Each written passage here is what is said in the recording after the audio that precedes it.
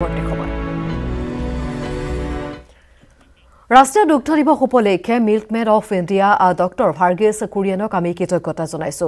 ৰাষ্ট্ৰীয় দুগ্ধ দিৱসৰ সৈতে সংগতি ৰাখি দেশৰ বিভিন্ন ঠাইত আমোলৰ খাদ্য সামগ্ৰীৰে চেফসকলে খাদ্য প্ৰস্তুত কৰি আছে।